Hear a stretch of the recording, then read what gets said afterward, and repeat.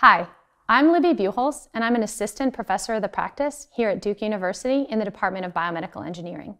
Have you ever wondered how CT images are made? Well, today we're going to take a peek inside the hood and, uh, and open it up so that you guys can get a better look. So CT stands for computed tomography. It's also known as CAT scan, which stands for computed axial tomography. The two people who invented CT, Sir Godfrey Hounsfield and Allan Cormack, both earned very well deserved Nobel Prizes in 1979, but it is a feat of modern engineering that we have these amazing systems creating images of our body every single day. So to start with, we use x-rays to create CT images. Why do we use x-rays? Who decided that anyway? We know that x-rays are harmful to our health.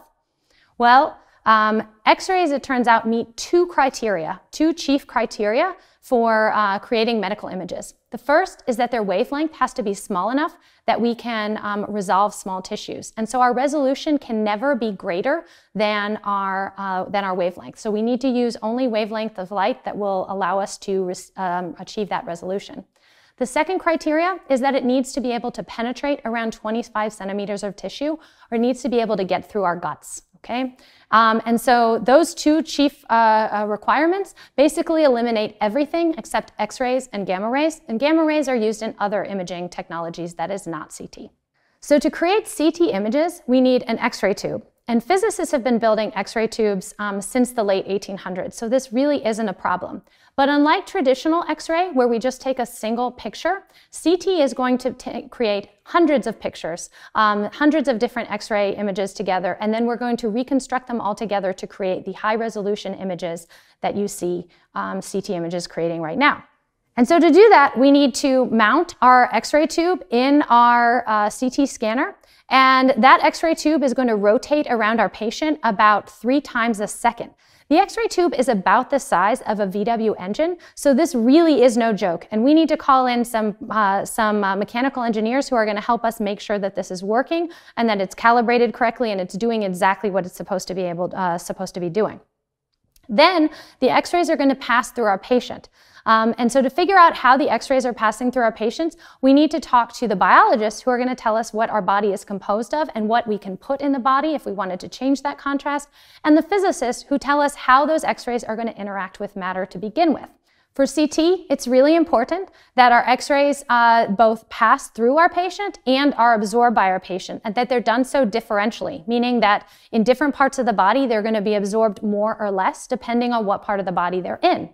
So for example, if we had 100% transmission of our x-rays, that really wouldn't be helpful because then we would get no contrast. There would be no difference in the absorbance of x-rays through bone or liver. And so when we went to reconstruct our image, yes, we would be able to see through the body, but we wouldn't be able to see that, that this was liver or bone. We wouldn't be able to differentiate any of the tissues.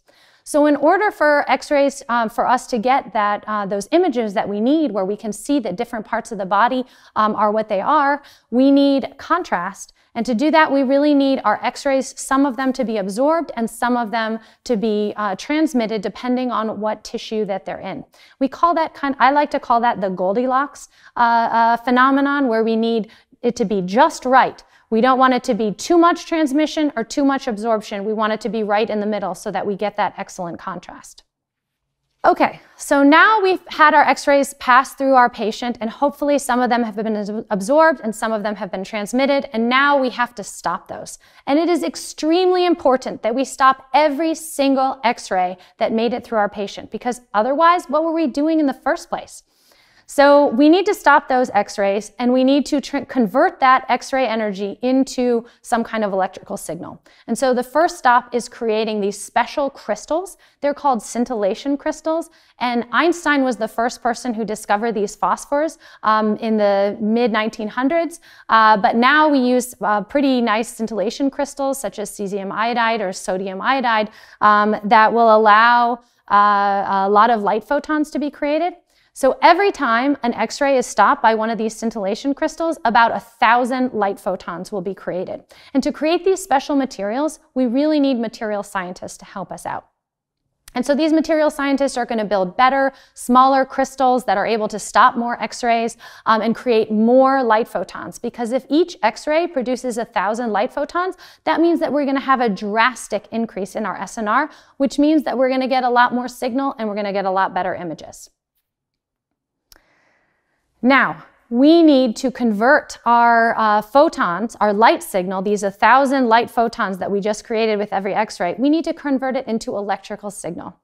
And to do that, we really need electrical engineers to come in. And for every single crystal those material scientists made, we need an electrical engineer to create a photodetector that will read that raw signal so that we can have that raw signal and start to reconstruct our data. Now, we have that raw data. And in the 1970s, when CT was first being made, that raw data was enough to spend, it could, you, it could take days to reconstruct your data. You could go in, get scanned for 30 minutes, and then they literally would not have the images for days later. Even today, with the amazing computing power that we have, reconstruction still takes orders of magnitude longer than the actual image acquisition. So in order to get that raw data um, and, and store that massive amount of raw data and process that raw data, we need to um, we need uh, computer scientists who are going to help us with that. So we have the computer scientists who are helping us store this raw data and we need to process it into an image. And the process that we're going to use to reconstruct it is um, known as filtered back projection. And this was largely developed by mathematicians who were sitting many, many years ago thinking about theoretical approaches to this and that. And, uh, and who knew it had a new life in CT in reconstructing our raw data. So this is an example of uh, raw CT data. Uh, the raw CT data is known as a sinogram, and it is just the set of all X-ray projections for all the different projections, and you can see that it kind of wobbles through the picture as you change um, the X-ray, the direction that the X-rays are coming. And then we reconstruct our data using a process known as filtered back projection. And what we do is we actually smear the raw data along the direction that was acquired and then add it up with the other smeared data. And we smear all the projections until we have our uh, reconstructed image. And so you can see the image as we get more and more smears and we add them together, we get an image that is closer and closer to um, what we want it to be, um, to those high resolutions, fantastic images that we, um, that we are so used to seeing in CT. So to create our CT image, we needed a, physicist to, to, help us build our X-ray tube. We needed mechanical engineers to, to put it into uh, the scanner. We need biologists and physicists to tell us how those X-rays were going to interact with matter. We needed material scientists to build us special scintillation crystals. We needed electrical engineers to create photodetectors. We needed computer scientists and mathematicians to help us with the reconstruction. And all of that together is biomedical engineering. Thank you for listening.